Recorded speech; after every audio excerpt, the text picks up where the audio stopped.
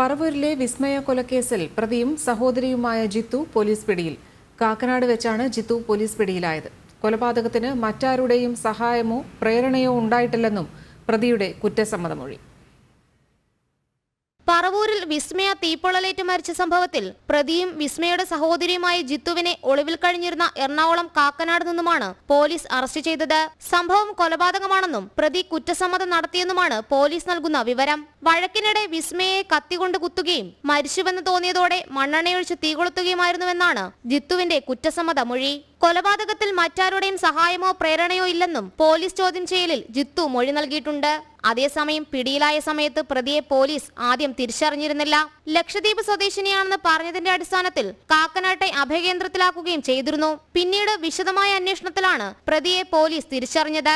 മാനസിക പ്രശ്നമുള്ള ജിത്തു ഏറെ നാളായി ചികിത്സയിലായിരുന്നു. ചൊവ്വാഴ്ച ഉച്ചയ്ക്ക് മൂന്ന് മണിയോടെയാണ് പറവൂർ പെരുവാരം അറക്കപ്പറമ്പിൽ ശിവാനന്ദന്റെ മകൾ വിസ്മയെ വീടിനുള്ളിൽ തീപ്പൊള്ളലേറ്റ് മരിച്ച നിലയിൽ കണ്ടെത്തിയത്. സംഭവത്തിന് തൊട്ടുമുൻപ് സഹോദരി ജിത്തു വീടിനു സമീപത്തെ റോഡിലൂടെ നടന്നു പോകുന്ന സി ദൃശ്യങ്ങൾ പോലീസിന് ലഭിച്ചിരുന്നു. പിന്നീട് പ്രതി എറണാകുളത്തെത്തിയെന്നും പോലീസ് കണ്ടെത്തി. പൂർണമായും കത്തിക്കറിഞ്ഞ നിലയിലായിരുന്നു വിസ്മയുടെ മൃതദേഹം ലഭിച്ചത്. ജനം കൊച്ചി.